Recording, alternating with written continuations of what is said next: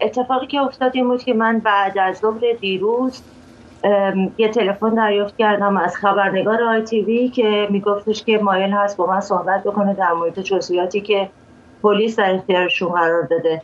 و من رفتم به دفتر و اونجا با اطلاعات یک کمی قافلگیر کننده روبرو شدم.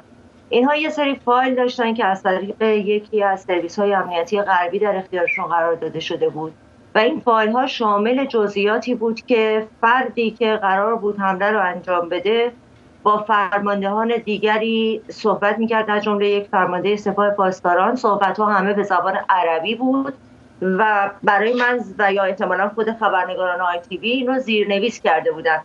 توی اون فایل ها در چند فایل بود اینها. یه سریاش فایل تصویری بود که اون کسی که در واقع جاسوس دو جانبه یا دبل ایجنتشون بود توضیح می‌داد که بهش چی گفتن و ازش چی خواستن و در یک سری از فایل ها صدای اون کسایی که قرار بود این عملیات رو انجام بدن و همینطور فرمانده سپاه پاسداران که داشت دستور قتل من و همکارم فرداد فرهزاد رو می‌داد داشت مشخصا توضیح می‌داد. ظاهرا اون چیزی که من دستگیرم شد و خود آی هم نوشته بود این بود که اول برنامهشون این بوده که پنج شیش نفر از پرسنل و دو نفر از مدیران رو هدف قرار بدن و بعد که احتمالا اقدامات امنیتی بیشتر شده تصمیم گرفتن که این رو به دو تا از مجریا محدود بکنن و اون دو مجری یکیش من بودم یکیش همکار پیشین من در ایران اینترنشنال آقای فرداد فرهزاد بود که فرداد اون موقع در واشنگتن بود. در واقع اون کسی که می‌تونست عملا در لندن هدف قرار بگیره من بودم که در موقع مجری برنامه چشم انداز با سیما ثابت بودم. خانم ثابت می‌تونین برای ما بگید از جزئیاتی که در اون فایل های صوتی و تصویری به شما نشون دادن و شنیدین چه مکالماتی رد و بدل شده بود درباره جزئیات این نقشه قتل؟ جزئیات اینطوری بود که به من و فرداد فرهزاد همکار پیشینم در ایران اینترنشنال به من می‌گفتن در اون مکالمات بدون نام بردن می‌گفتن عروس به ایشون می‌گفتن داماد و به اون اتفاق قصد که قرار بود رخ بده می‌گفتن عروسی. در ابتدا قرار بود این عروسی که حمله بود به مقر ایران اینترنشنال که حمله صورت بگیره قرار بود با یک خودرو بمبگذاری شده این حمله انجام بشه. ولی بعد طرف به عربی میگفتش که من یک عروسی بی سر و صدا می‌خوام. و طرف ازش می‌پرسید که چقدر بی سر و صدا؟ طرف می‌گفت بی سر و صدا در اندازه یک کارد آشپزخونه. که از این استنباط شده بود که اینها قصد داشتن که با چاقو هم در رو انجام بدن.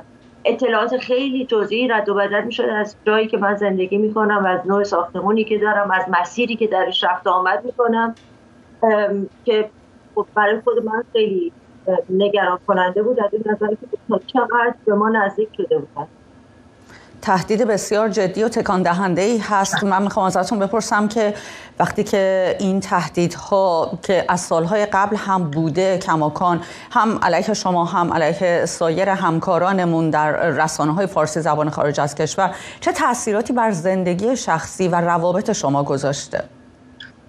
راستش اولی که با خبر شدم از این قضیه اولین کاری که کردم خب حالا من معمولا کارم تحلیله. اول نگاه کردم ببینم که چه اتفاقی افتاده.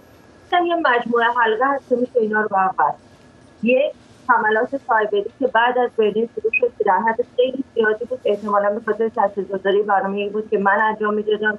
برنامه‌ای که در زمانی داشت انجام می‌داد که خیلی وقتها اینترنت قطع می‌شد. و از دریچه تلویزیون مردم ارتباط برقرار می‌کردن با اون چیزی که ما می‌تونستیم از جور و ستم و سرکوبی که در داخل ایران و در خیابانها در همون لحظه در جریان بود بگیم.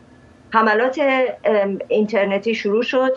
همزمان اینها دستور قتل من رو دادن و بعد در کنار این بعد از اینکه من از ایران اینترنشنال اومدم بیرون یه موج دیگری از حمله از مجموعه جمهوری اسلامی شاهد بودن.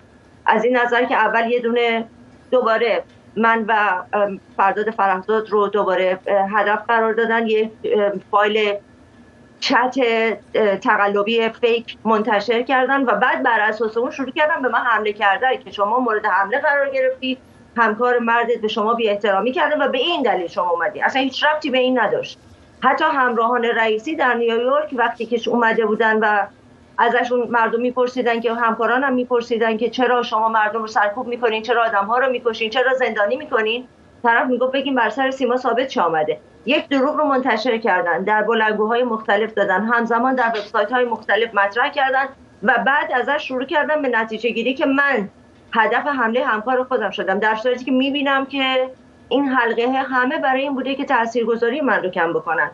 اگر برنامه‌ای که من اجرا می‌کردم تاثیرگذار نبود در خط مقدم حمله قرار نمی گرفتم اونجوری که بخوان نیرو بسیج بکنم به یک کسی 200 هزار پوند پول بدن که بخواد من رو از راه ببره. و این منو مصممتر می‌کنه.